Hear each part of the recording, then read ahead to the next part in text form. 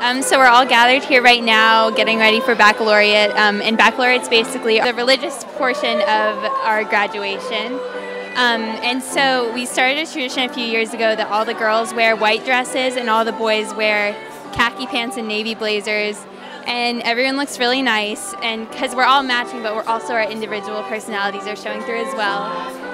Uh, I'd say the mood for the most part is definitely excited. Um, I know I personally am kind of emotional right now and a little bit sad. I'd say it's a bittersweet experience right now.